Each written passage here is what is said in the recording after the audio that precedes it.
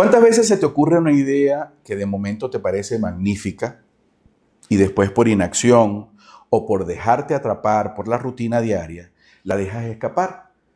Para descubrir tiempo después que a otro se le ocurrió lo mismo y está obteniendo beneficios con tu idea. y otras tantas decides que esta vez sí y comienzas a desarrollar un concepto y en el camino lo comienzas a cambiar, a cambiar, a cambiar hasta que se transfigura tanto y pierde todo el sentido y ya no sirve. O a veces arrancas con entusiasmo y esa vocecita interior te abruma con pensamientos limitantes, con creencias, con ideas de que tú no puedes y terminas abandonando. ¿Quieres saber cómo dominar ese saboteador interior? Quédate conmigo en este Inspiratip y te cuento cómo.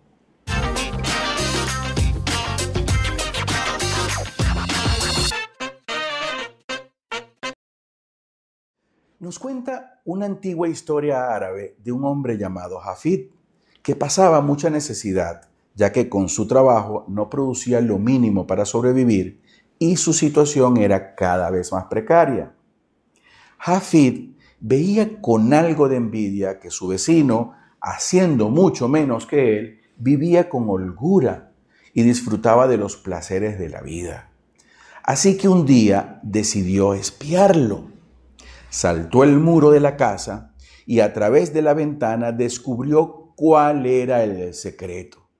Su vecino tenía un genio que le cumplía todos sus deseos. Así que Jafid al día siguiente y decidido a cambiar, se acercó a su vecino y abiertamente le contó que sabía su secreto y con mucha humildad le pidió su ayuda. El vecino, un hombre de buen corazón, le cedió la lámpara por un tiempo, ya que haría un viaje largo y no iba a necesitarla. Pero antes le advirtió que debía ser muy cuidadoso, muy inteligente y muy sabio para sacarle verdadero provecho al genio de la lámpara. Jafid, un poco apurado y deseoso de resolver su situación, no le prestó mucha atención a las palabras de aquel hombre. Así que una vez en su casa y sin pensarlo mucho, procedió a frotar la lámpara. De inmediato y con un escándalo salió de aquella pieza diminuta un enorme genio. El que frote la lámpara podrá pedir todos los deseos que quiera. Solo una condición debe aceptar. Por cada deseo tendrá dos más a su disposición. Pero si un día no ha de pedir alguno, su cuello probará mi espada por no saber usar este poder que se le otorga. Jafid, lleno de entusiasmo y sin pensarlo mucho, aceptó las condiciones del genio y así los primeros días fueron fantásticos. A cada momento tenía un nuevo deseo y con cada deseo las posibilidades de pedir dos más se multiplicaban. Pero en poco tiempo los deseos se fueron acabando. Ya no sabía qué más pedir.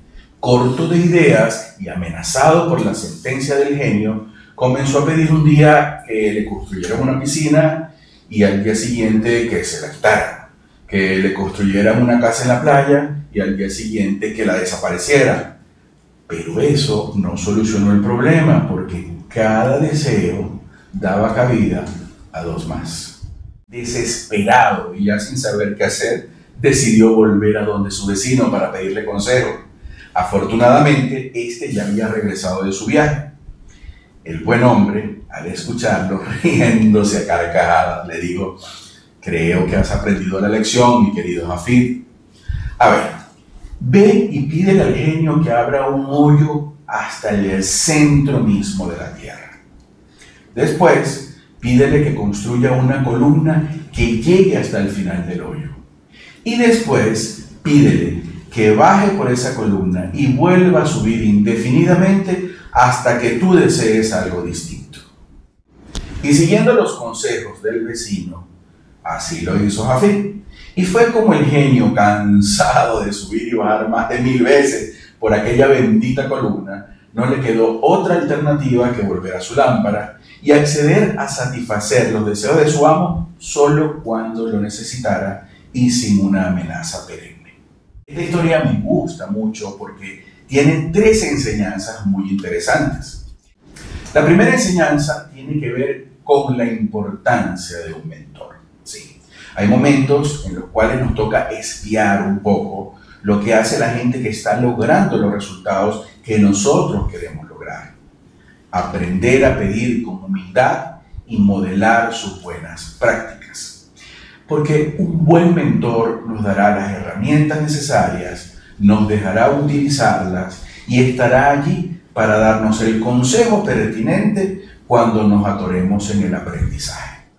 La segunda enseñanza tiene que ver con la liberación del pensamiento creativo. Sí, es necesario liberar a ese genio que llevamos dentro y que nos permite soñar, crear, innovar, aprovechar nuestras experiencias y todos nuestros recursos, siempre con la salvedad de que tiene que llegar un momento para la acción y aprender a canalizar esa creatividad para que la idea, idea, idea, idea, idea constante no nos vaya en contra.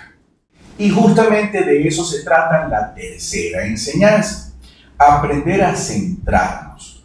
Una vez que una idea nos atrapa, nos apasiona, bueno, centrar toda nuestra energía creativa en pos de esa idea en particular, sin dispersarnos la metáfora de subir y bajar por esa columna es maravillosa y nos recuerda el respirar profundo. Inhala, exhala, inhala, exhala. Es poner el genio a nuestra disposición, meterlo en la lámpara por un tiempo y solamente salga cuando nosotros lo necesitamos. ¿Sabía que Jafid significa sabio?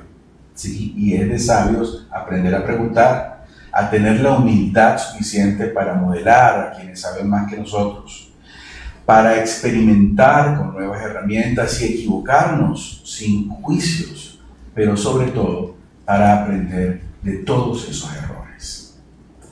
A ver, ¿y tú? ¿Qué esperas para liberar ese genio, esas ideas que están allí y ponerlas al servicio de la humanidad? Y si te gustó este inspirativo, compártelo con tus amigos. Y recuerda seguirme por mis redes sociales y visitar mi página inspiradoresonline.com y entra en la web.